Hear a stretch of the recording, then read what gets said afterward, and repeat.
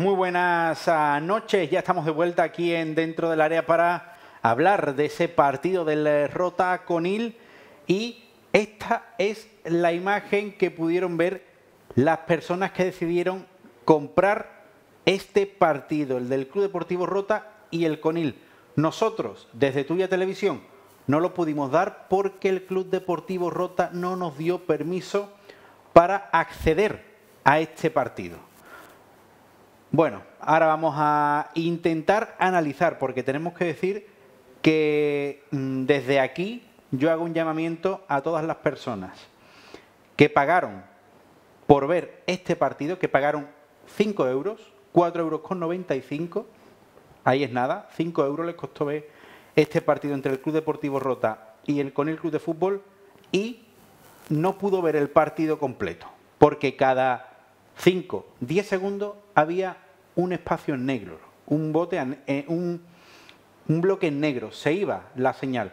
Por tanto, no se pudo ver el partido y nos han pasado el partido tal cual, con esa deficiencia, tal como se emitió, nos lo han pasado a nosotros, a esta casa, a tuya televisión, asegurándonos en su momento, cuando hablamos con el responsable de prensa, cuando hablamos con las personas de la televisión que produció ese partido, pues nos dijeron que nos iban a pasar el partido y cuando nos lo han pasado, sorpresa, nos han dicho que eso es lo que había, que no tenían el bruto del partido y que lo que tenían era la emisión, la señal, con todas esas deficiencias que ahora vamos a ir pudiendo ver eh, conforme vamos intentando analizar ese, ese partido, ya decimos, eh, totalmente ajeno a tuya televisión.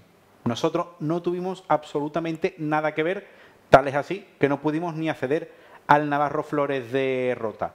Yo voy a intentar transmitir todo lo que pude, al igual que mis eh, compañeros, mis invitados que están aquí, porque sí estuvimos en el Navarro Flores de, Rota, no trabajando como nos hubiese gustado, pero sí, pues cogiendo esas notas, cogiendo o estando pendiente absolutamente a todo, porque ya nos imaginábamos lo que iba a ocurrir, porque cuando yo llegué al campo y me vi una cámara de mano, pues yo ya me supuse lo que iba, lo que iba a pasar.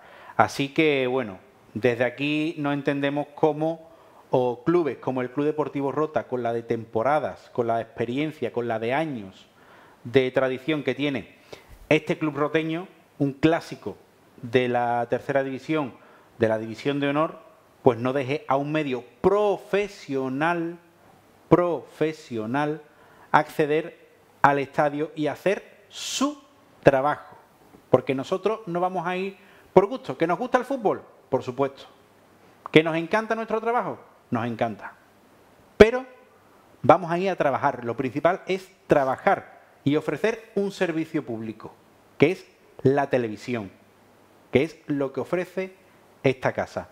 Así que ahora vamos a ir viendo cómo podamos, transmitiendo como buenamente sepamos hacerlo, eh, lo que ocurrió en este partido entre el Club Deportivo Rota y el Conil Club de Fútbol, con el resultado final de 2 a 1 favorable a los roteños. Antes que nada, presentar a los invitados después de esta chapa que os he soltado, pero lo siento, lo tenía que hacer. Eh, Antonio Revidiego, jugador delantero del eh, Conil Club de Fútbol. Muy buenas noches. Muy buenas, ¿qué tal? Encantado de que estés con nosotros. Igualmente. Y tenemos en el otro costado a mi fiel compañera, que ya que ayer no pudimos ¿verdad? trabajar, no nos dejaron trabajar, pues te tengo hoy aquí conmigo. Pero no te tengo además solo como compañera, que eso es lo principal, eso es, eh, y como, bueno, como persona, ¿no? entendida de este magnífico deporte que es el fútbol, sino también como responsable de prensa del Conel Club de Fútbol, porque eh, todas las personas que nos estén viendo, es Raquel la persona que lleva pues todo el tema de comunicación del, eh, con el club de fútbol y nos va a dar también, por supuesto, pues esa visión, ¿no? esa postura del club pues de que eh, de, bueno de lo que ha pasado a lo largo de esta semana de que no nos hayan dejado acceder al partido.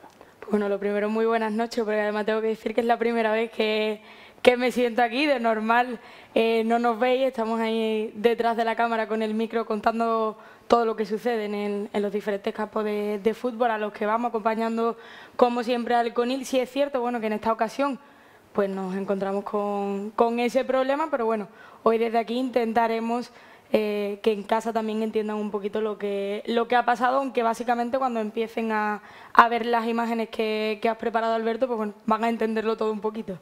Lo vamos a entender y de qué manera. Bueno, vamos a empezar eh, hablando de ese partido. Revidiego, quiero que me hagas una pequeña valoración ante, antes que nada como hombre que formaste parte del partido en el día de ayer, que entraste en esta segunda mitad para tratar de dar esa vuelta ¿no? al partido. Entraste con un 2-0, misión complicada, pero bueno, la tuviste también ahí en esa primera acción. Eh, la verdad que el partido no empezamos bien. El planteamiento, llevamos toda la semana planteando algo más ofensivo para salir a ganar allí en Rota, pero es verdad que ellos con tres eh, en el centro campo y nosotros con dos sufrimos esa, esa desventaja y es verdad que, que nos costó meternos en el partido. Luego, una vez ya que... ¿Estuvo la clave ahí, Revidiego? Yo creo que sí. ¿En el dominio del centro del campo? Sí, yo creo que sí. Una vez que ajustamos el, centro del campo en la segunda parte, es verdad que estamos mejor, aún así nos hacen el segundo y ya nos tocó remar y, y aquí en tercera, un 2-0, remontarlo es muy, muy complicado, la verdad. Lo que me llama la atención, también te lo pregunto a ti, Raquel, cómo, cómo se vive, ¿no? Porque el, el equipo jugó mejor a raíz del segundo gol. ¿Cómo se come eso? ¿Cómo se le explica al aficionado, a la persona que vive, que siente intensamente al Conil, que te tengan que hacer dos goles para que el equipo reaccione? Igual porque quitamos la presión y, y también es verdad que acabamos jugando más con corazón que con cabeza y, y bueno, pues... Porque llegó un momento, Revidiego, eh, no sé si Raquel lo, comparte conmigo, que yo sentí que, era que había opciones de darle la vuelta al partido. Y además se me venían a la mente recuerdos precisamente en ese mismo campo, porque hace dos temporadas, si mal no recuerdo, se levantó un 0 a 3. Se empató a 3 en el Navarro Flores. Y se me vinieron esos destellos. No sé si te pasó lo mismo, Raquel, Tú ese partido lo viviste, lo viviste conmigo y, acabamos remontando, no remontando, ojalá se hubiese podido remontar, pero se igualó un, un 0-3, un 3-0, perdón. A ver, sí es verdad que yo, por ejemplo, cuando entré al campo tuvimos la primera ocasión que, que se pasea el balón por, por, el área pequeña, que yo me tiro, luego llega Gonzalo en segunda línea y la echa fuera.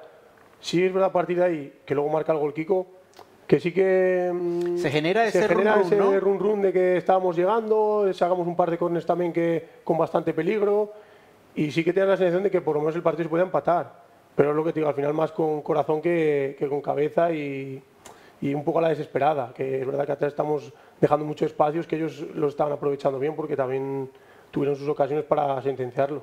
Porque además fue, Raquel, mm, además el peor partido defensivamente que del Conil, ¿no? Donde eh, se ha demostrado a lo largo de todas estas jornadas que la fuerte es ese bloque bajo, ese, esa defensa, que hagan pocos goles y ayer con muy poquito se plantaban delante de Frank.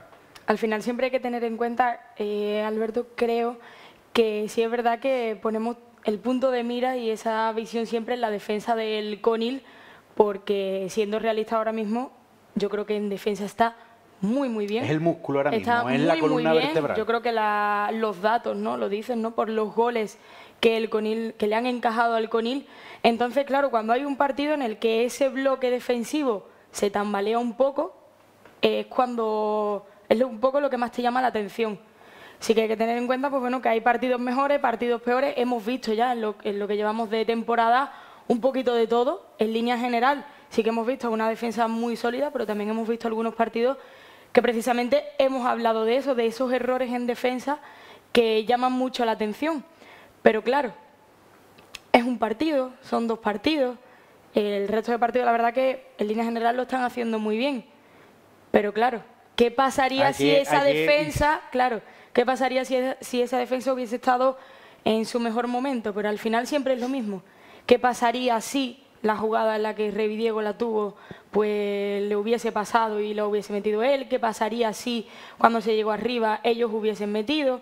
Al final, el qué pasaría si, pues te abre un, abanico, yo creo que muy amplio de posibilidades. Un error de, de, Fran en ese primer gol, ¿no? que no nos tiene acostumbrados. Por cierto, vamos a ir empezando a ver ya imágenes. Vamos a ver ese precisamente ese primer gol del eh, Club Deportivo Rota, donde pues el eh, pase es en banda izquierda. Ahí ven, ese negro no es que lo hayamos puesto nosotros, es la emisión. Y falla Fran precisamente y Zeki que bueno que lo conocemos de su estancia en Conil hace unos años, pues ahí vemos, en ese momento Fran pues no se entiende con el defensa, no coge bien el balón y Zeki que lo coge y, anota. Y también quiero que vean, por favor, esa inclinación del campo, que parece que están corriendo los jugadores acostados. No es que estén acostados, es, eh, bueno, que eso, cuando profesionales no hacen, eh, hacen el trabajo, el trabajo, mejor dicho, es hecho por personas que no son profesionales, pues pasan este tipo de, cosas. Bueno, un jugador Zeki que yo creo que fue el que creó más peligro ¿no? en la portería del Conil por cómo es Zeki, por esa rapidez, por esa electricidad que tiene. Un jugador que mm, apuntaba muy alto, pero además yo estuve hablando ayer con, con él y tuvo problemas con el representante, se iba a ir a segunda vez, finalmente pues vino la pandemia, eh, en definitiva se complicó la cosa, no le salió rana al final el representante, le prometieron muchas cosas y al final nada y luego pues tuvo la mala fortuna de romperse el cruzado cuando entrenaba con el Utrera y bueno, ha reaparecido y de qué manera ha reaparecido, ¿no? La verdad que sí que fue de los que más ocasiones nos creó, era de los que más peligro nos estaba creando. Pero más allá de eso, en el gol, por ejemplo, yo no achaco el fallo a Fran porque es verdad que nos ha salvado 20.000. Y es, yo lo achaco más a que Gonzalo viene de centrar, de pegarse una carrera casi hasta el final de, su portería, de la portería contraria, y nadie le hace la ayuda. Al final el balón acaba allí en, en esa banda. Kiko a la, a la carrera también no, no llega del todo y bueno, pues pasa lo que pasa y, y ya con ese error pues en tercera te, te marcan. También vimos muchos errores a la, a la hora de, de, cuando había un balón largo, mm, lo ganaba mucho el Rota. Casi todos los balones largos creaban peligro. No, ellos sabían a, a lo que jugaban y es verdad que sobre todo en cuanto cogían el balón buscaban siempre la zona izquierda porque por, el carrilo que tenían, que también nos creó muchísimas ocasiones, el, el número 20 creo que era, también llegó bastante allí arriba. De hecho, una de las faltas que rematan viene porque le hacemos una falta ahí en el, cerca del área y que la rematan sola. Y es lo que te digo, al final todo esto, bajo mi punto de vista, porque no supimos ganar el medio campo. Ellos tenían tres, nosotros teníamos dos Igual uno de los delanteros que nosotros teníamos se tenía que meter más con el pivote, no lo estábamos, ¿no? lo estábamos viendo y yo creo que ellos supieron aprovecharlo. Eh, una lectura buena de partido. Sí, hombre, al final yo creo que los propios jugadores muchas veces pueden analizarlo de una manera muy diferente, no sé si mejor o peor, pero sí que es muy diferente a lo que se ve desde fuera, ¿no? A lo que ve el aficionado, porque después, claro. Después le dio la, la razón, ¿no? el míster cuando metió a, Javi Gómez en el centro del campo, aportando ese tercer hombre, ¿no? Jugando con Orihuela, Quintana y, Javi Gómez. Pues le dio ese, ese compacto, ¿no? Esa pieza que quizás le faltaba al puzzle del, del medio campo. Vemos el segundo gol del Club Deportivo Rota ya en la segunda mitad, en el segundo periodo.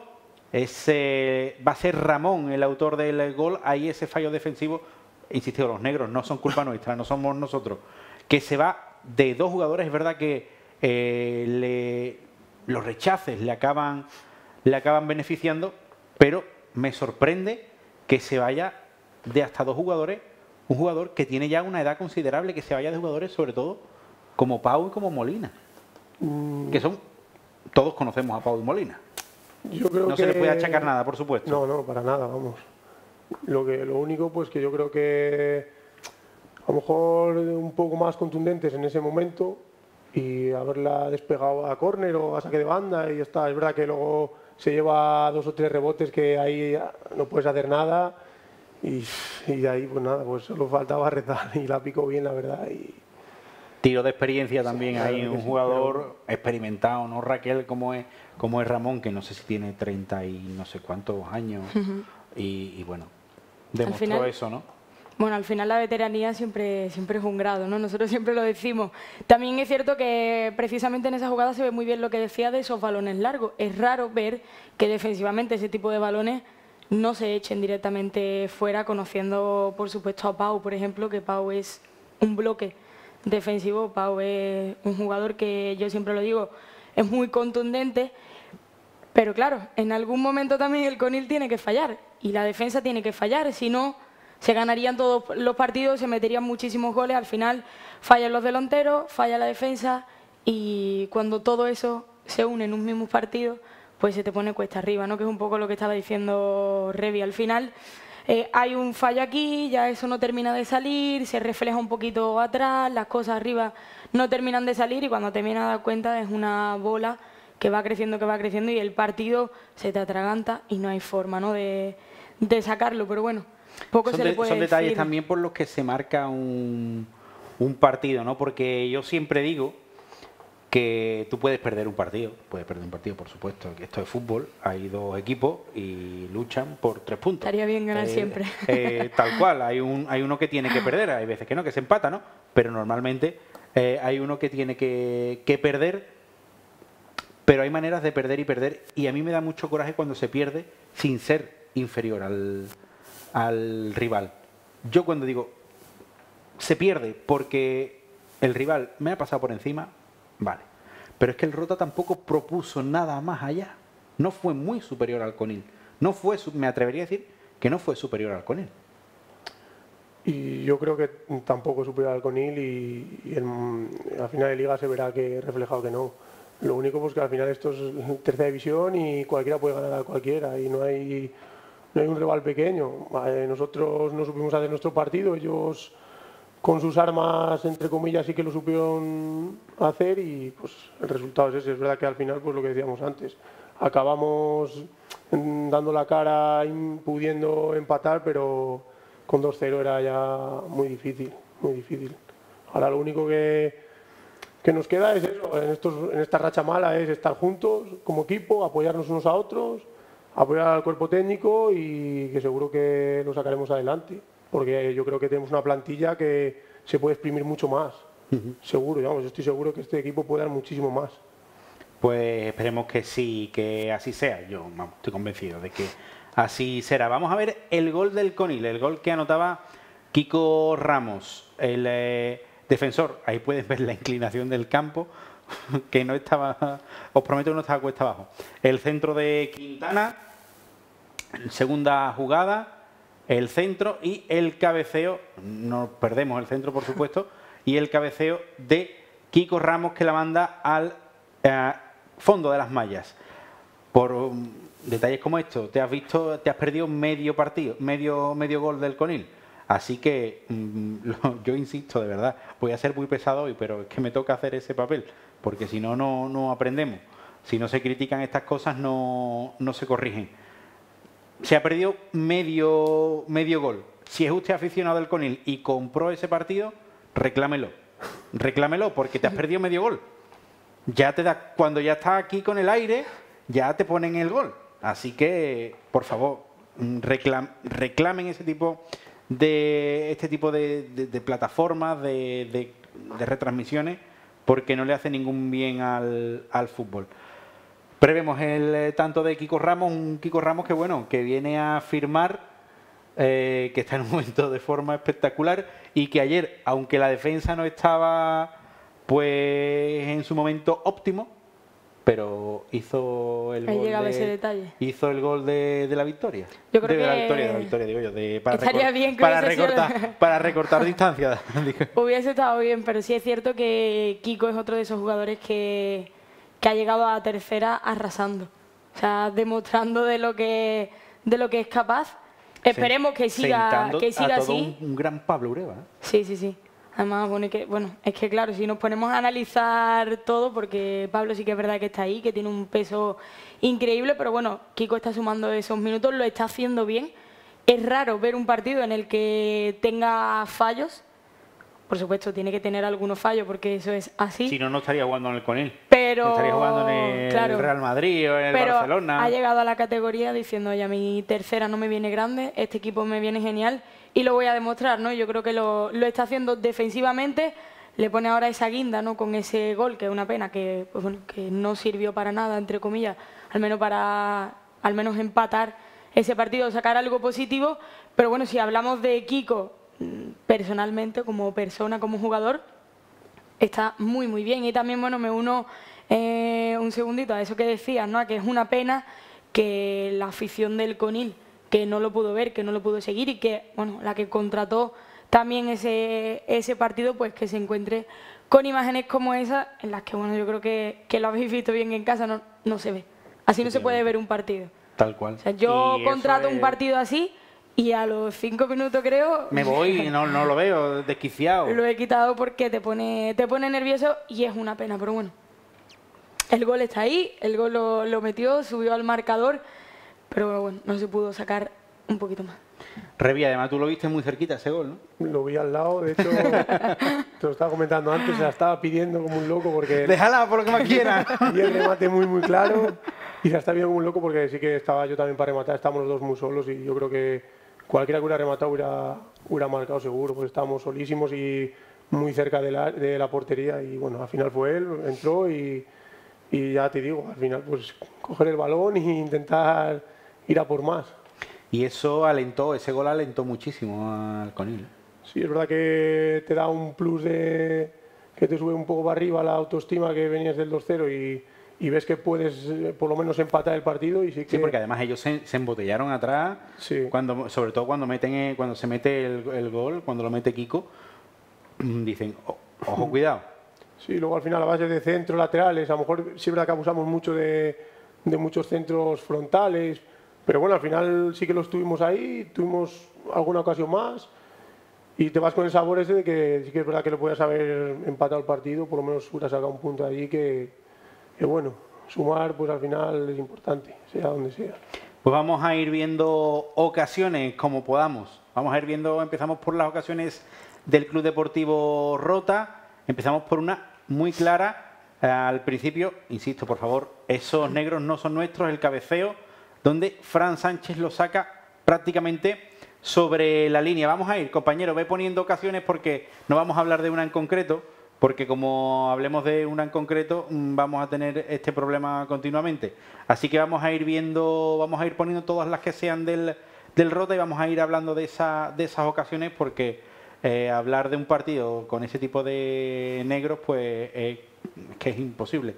Así que ahí la tuvo también el eh, Rota, atrapaba a Fran, mm, que también pues eso. Mm, además me gustó de Fran que no se ahí respondió muy muy pero que muy bien a ese lanzamiento de, desde la esquina y lo que decía, ¿no? Que me gustó de Fran que a pesar de tener ese pequeño fallo en, en, el, en el primer gol, mm, Fran no es un no es un portero que se que se amedranta o que luego le causa es un, peso psicológico, ¿no? Al contrario.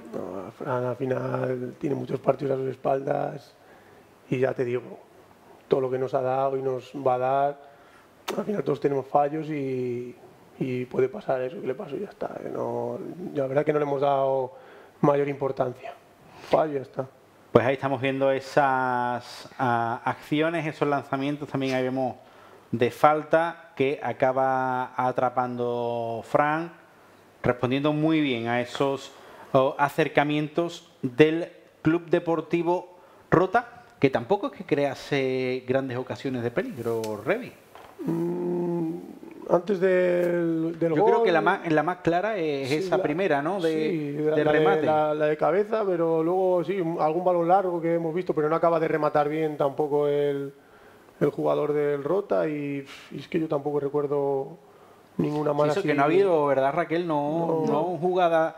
No fue un equipo que te dijera tú, oye, eso, ¿no? Como hemos hablado antes, mira, que me ha pasado por encima, que ha sido mejor que yo. No, yo creo que simplemente aprovechó la situación, ¿no? Yo creo que vio a un Conil que no era sólido, que no era un bloque como lo ha estado siendo en, en las jornadas pasadas y aprovechó. Estaba en casa, tuvo la oportunidad de sentirse un poquito más cómodo, tiró también un poquito de, suerte porque tener eh, poder aprovechar un fallo de Fran ocurre una vez cada no sé cuántos partidos, entonces Como pues, el cometa Halley. Claro, eso es una, una situación que pasa muy poco y yo creo que eso, ¿no? Que tiró también, pues bueno, que estaban jugando en casa, que se sentían un poquito más cómodos y que tuvieron la suerte de poder aprovechar este tipo de, de jugadas y a lo mejor en las dos más claras, pues la pudieron aprovechar, pero poco más. Por eso lo que decías, ¿no? Que muchas veces pues te da esa cosilla de decir, lo hemos hecho mal, pero hasta qué punto para merecernos perder, ¿no? Que, es lo que pasó en este partido. Y el hándicap del campo, ¿no, Revidiego? Es verdad que a lo, al Conil no se le da bien el césped natural. Bueno, al final estar acostumbrado a otro tipo de, superficie, superficie y la nuestra es verdad que no es que sea lo, mejor que tenemos. Porque dilo, dilo, dilo, dilo abiertamente. dilo abiertamente. Está muy mal. Está reventado, dilo. Pero reventado del todo. Dilo, dilo, dilo. Sin problema, ninguno. Y, bueno, te meten en un campo de hierba natural que mm, tampoco estaba tan mal, que, a ver, no hemos jugado... Y más después de haber llovido tanto como ha caído Aquí no nos podemos quejar porque ninguno hemos jugado en el Bernabéu, entonces... Esto es así, el, para mí estaba bien, se podía jugar perfectamente, un campo bastante grande y es a lo que voy. Al final yo creo que pecamos eso, de no ser nosotros mismos, que eh, normalmente sí que queremos el balón, sí que... Y ayer eh, no, no, estuvimos acertados. Pues vamos a ver las ocasiones del eh, Conil, vamos a ir viendo esas ocasiones. Te digo lo mismo, compañero, vamos a ir poniendo porque nos va a ser prácticamente imposible ver eh, eh, pues todas estas acciones completamente limpias, completamente bien como nos gustaría. Eh, ese pase interior a punto de llegar. vamos a ver ahora ese centro de Heredia desde la banda izquierda que se acaba paseando, acaba sacando la defensa del Club Deportivo Rota. El, lanzamiento de córner quería sorprender ahí de manera directa a la portería del Club Deportivo Rota. Nuevo acercamiento ahí no es, eh, no consigue eh, pues impactar con el balón Juan Antonio Ureva en esa acción junto a Pascual. Nueva acción de ataque, en este caso por el costado izquierdo. A punto ahí también de crear peligro. Se buscaba ese centro. Vamos a ver ocasión que pone Heredia. El golpeo que se marcha por el otro costado, de nuevo centro, por la otra banda, el cabeceo, acaba sacando la defensa del Club Deportivo Rota. Estamos viendo que prácticamente es imposible ver dos jugadas seguidas. Bueno, dos, ni una. El centro, ahí no puede llegar y ese es el... Eh, esa es la que no puede llegar, no Revi, y la de Gonzalo que acaba golpeando fuera. Sí, es verdad que hacemos una buena jugada y acaba Pascual yéndose por banda y y centrando y la verdad que yo me tiro porque veo que viene el balón súper fuerte. Y aquí la tienes también, ¿no? Sí, esa es la, última de todas, ¿no? sí, la que me da Solano. hay que averiguar dónde estamos. Efectivamente, es difícil. Tiro muy desmarque, recorto al defensa, pero bueno, luego Está muy escorado quizás. Estoy muy escorado y, chuto muy deprisa y bueno, es verdad que la saca el portero, la saca bien y bueno. Ahí, ahí estuvo, ahí estuvo, ahí estuvo el... Ahí, ahí, ahí, ¿eh? Pero bueno, esa es la última ocasión del eh, partido con la que eh, pues eh, el partido llegaba prácticamente a su fin. Ahí vemos en el marcador en el minuto 94, eso sí lo podemos ver, el, resto no, pero el marcador sí, sí, lo, sí lo vemos. pues esas son las ocasiones del Conil. Vemos ahora un detallito de Alberto Quintana, a ver si lo conseguimos ver de manera completa. Ese eh, pues detalle, ¿no? Que siempre nos gusta, ahí vemos esa croquetilla en el centro del campo y apertura. ¿Qué calidad tiene Alberto Quintana? Eh? La verdad que es un jugador que es increíble, la calidad que tiene. Yo creo que todavía nos puede dar mucho más, muchísimo más y, yo espero que... A mí me gustaría verlo un poquito más en ataque. Me gustaría verlo eh, uniendo medio campo con, con, ataque en esa zona de media punta, ¿no? De pivote me gustaría ver. Sí, él, donde lo ponga se va a desenvolver bien, pero es verdad que a lo mejor más cerca del área para filtrar pases a los delanteros o incluso a los extremos se ve más cómodo, pero vamos, ya te digo que tiene una calidad increíble y yo estoy seguro que nos va a dar muchísimo más porque yo creo que puede dar mucho más, Alberto. Seguro que sí. Nosotros lo venimos diciendo, así que no, nos sumamos a, esa idea, así que que ahí estamos. Yo creo que en casa conocen bien lo que pensamos de, Quintana. Más bien de la mayoría de jugadores. Sí, además lo tuvimos la semana pasada aquí y estuvo, estuvo hablando. Y la verdad que es un jugador espectacular, no solo como un futbolista, sino también como, como persona. Eh, seguimos y vemos un posible penalti, a ver si lo podemos ver, eh, que pide el Conil ahí por una mano.